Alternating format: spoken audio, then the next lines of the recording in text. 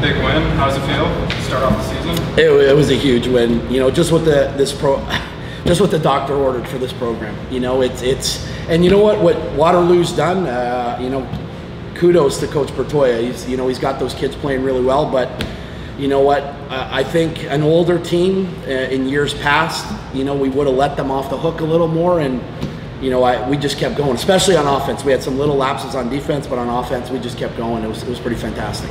So you guys were still relatively close at halftime. What kind of adjustments did you make? Because you really pulled away in the second half there. You know what? We were trying to be. Um, you know, we had we had a game plan. We were really trying to attack them on defense, and uh, you know they were just max protecting. They were protecting with seven, eight, sometimes nine guys, and just sending you know some simple uh, patterns out there and we weren't able to get the rush there. The, the edge was way too long, so the second half we just said, you know what, screw it.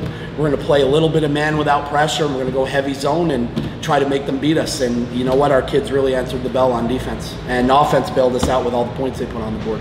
When I uh, talked to you two weeks ago about your starting quarterback, you were very quick to say Brett was the starter. What did you think of his first game? Oh, it was pretty incredible. It was pretty incredible. You know, um, considering you know he played two and a half quarters, and you know, three. I think he was 17 to 25 for 331 with five touchdown passes. Like that was pretty incredible. Uh, and you know what? He is who we thought he was when we recruited him. So we're pretty pumped about that. And uh, Brett, uh, five touchdowns. You only threw two, two last year. How does it feel to more than double your season total in one game? Um, I think that was just the expectations this year. Um, obviously, I was a I was a rookie and my eyes were very young last year, so just coming into this game, I think uh, I had the right confidence uh, to lead the offense and not only the team. And you uh, found your uh, brother on what looked like a, a read option.